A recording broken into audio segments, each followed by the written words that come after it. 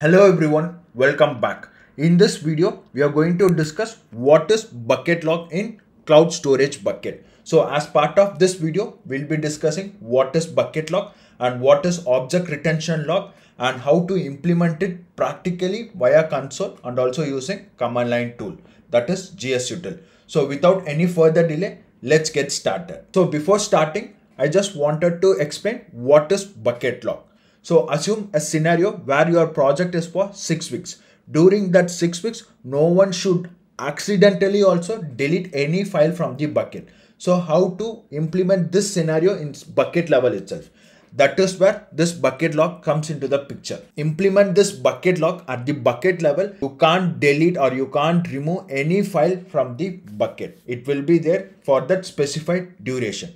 So this particular logic you can implement at the bucket bucket level that is known as bucket lock or else you can implement at the object level that is called as object retention policy. So now I log into my console. I'll open my cloud storage bucket and I'm going to create a fresh cloud storage bucket. Just click on this create and give a bucket name. For my demo, I'll be using demo bucket lock and you can give labels and I'm going to keep all these values as a default one. And my bucket is as uniform level. I'll just continue. And this is where we are going to set or configure our retention policy. So here you can see this retention. You can just click on this retention and under this retention you can see set bucket retention policy. Here you can see best to guarantee compliance for all the objects in the bucket for a uniform retention period. And this is for object retention so best to guarantee compliance at an individual object level for object specific retention needs. So this is for individual object level and this is at the uniform bucket level. Now, if for in scenario, if my object versioning is enabled at the bucket level, then you can't set this bucket retention policy at the bucket level because object retention and set bucket retention policy as such clash. So make sure if you set this set bucket retention policy you will be not able to configure the object versioning.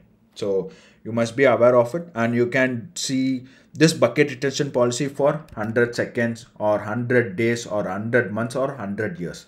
As of now i'll just go with 100 seconds. And the next one if you want to enable object retention you can do it. But once you have configured it you will be not able to undo it because this action is permanent. So the data encryption let it be same and just create. So our bucket is created. Here you can see the configuration all the details here. Under protection soft delete policy we have the default one. Object versioning is off and bucket retention policy is for 100 seconds. So you can just go to objects click on this upload files. Upload a json file here. I'll just upload my json file. And then i just upload it. I'll just refresh it. You will be able to see it here. Yes. The json file is uploaded. Now just try and deleting it. So just click on this delete. And since the retention policy is for 100 seconds you will be not able to delete. Here you can see demo bucket lock the respective json file could not be deleted. And just click on the view details you can just go here and you can see object that particular subject to buckets retention policy or object retention and cannot be deleted or overwritten until 100 seconds. So this is what we have to wait till 100 seconds to make sure that bucket or to make sure that uh, retention policy is expired. So how you how you wanted to confirm this? You can just click on this, get this gsutil URI or activate your cloud shell and use this gsutil ls hyphen l and paste the gsutil URI here and here you will be able to see the details.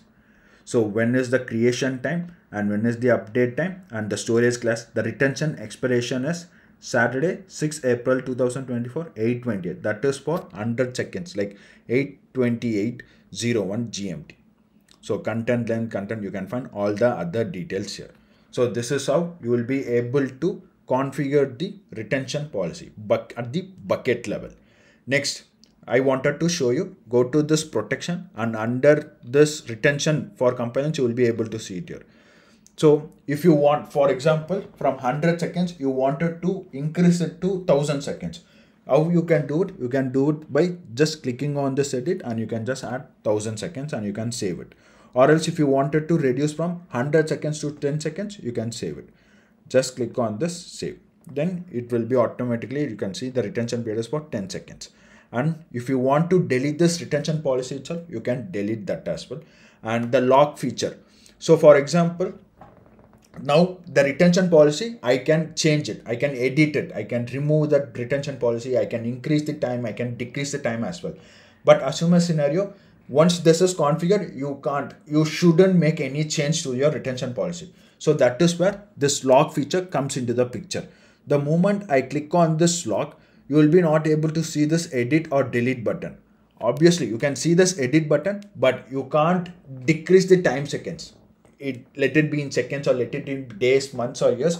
You can't decrease it but simply you can increase alone. Uh, apart from that you will be not able to do decrease or delete and you can't do anything out of it. Once the retention period is expired then you will be able to delete the bucket itself. But you can't revoke from lock to unlock. That you can't do it because it is simply irreversible activity as of now. So this is what now i guess like 120 seconds like 100 seconds must have been expired. You can just go to objects and just click on this. I'll just refresh it once and try deleting it. Now you can see this particular object will be deleted because the retention policy is expired from 100 seconds we modified to 10 seconds and then we are able to delete. It so again we'll just upload one more file. The same json key file we'll upload it here. And I'll just click on this confirm. Upload started. Can just refresh and you'll be able to see one file here. Yes the same file we have exited so under protection I'm going to click on this uh, lock. So just click on this lock and copy the bucket. So I'll just lock the policy here so the moment it locked you will be able to see the delete is it you can't delete the bucket. You can edit it but from 10 seconds you can go to 11 seconds but not to 9 seconds. Because a locked retention policy can't be removed or reduced in duration. So from 10 i'll just do 20 seconds and i'll save it. And the same you can see it here. Retention period is 20 seconds. Now we can go and we can do the same here. Gsutil ls l so here you can see creation time update time. What is the created time? 829 and the retention expiration is at 830 20 seconds. We have to wait for 20 seconds and then you can see whether you will be able to delete it or now we'll if you want you can just give it a try. You will be not able to delete this bucket delete this json file because the 20 seconds is not done. This is what the bucket retention policy is and there is a scenario where once the retention policy expired for example in our case the 20 seconds is already expired and you don't want to delete it or you don't want to do remove the file. Instead you want to prolong that retention policy. How? You can do it. There is a way to implement that. That is known as temporary hold. And i'll show you how to implement it practically inside gsutil command line tool. So now i'll just click on this delete I'll try to delete it. This will be deleted now because 20 seconds is already expired. Now I'll just come out and I'll try to delete this bucket itself. You clearly remember that the retention period is 20 seconds, but the lock policy is enabled at the bucket. Since we are not able to reverse the lock policy, the only way you can delete the bucket only after the retention policy is expired. You can just click on this and I'll try deleting this bucket. Yes, bucket is deleted. So now I'll show you how to implement it via gsutil command line tool. In order to do it, I'll just close all these things and I'll use gsutil make bucket and my bucket name is demo bucket lock policy let all the other details let it be same this is a brand new bucket where there will be nothing there. For example the retention policy there will be nothing there. Everything we have to do it from the scratch only. So you can see demo bucket lock policy. When it got created you can find all the other details. And this is the bucket which is not uniform level. It is access to object level. Like acl is enabled at the object level. You can just click on this and you will be able to see the retention policy under protection can just go and see. The retention it doesn't have anything. If you want you can set it from here. But we are going to see how to do it from the command line tool. So in order to do it i'm going to use here. Gsutil retention. Set 10 seconds. 10 yes and you can do give d for days m for months and ey for years. Gsutil set retention. I'll just copy this and setting it for 10 seconds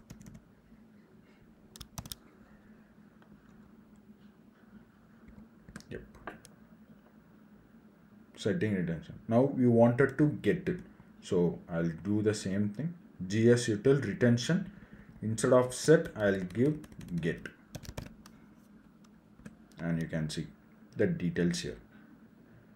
Retention policy it is unlocked and the duration is 10 seconds. We have not locked the bucket. It is just unlocked. Duration is 10 seconds and effective time is 8:35 35 gmt and if you want you can increase it from 10 seconds to 60 seconds as well. One minute also you will be able to do it. So i'll just click on this and you can see the updated retention like duration also. Here you can see it is done. And how you can just go here protection and you will be able to see this also. And you can just refresh it once. And here you can see retention period is one minute. Lock delete you can edit all those things also here in the gsutil command so the next thing is we are going to copy the file.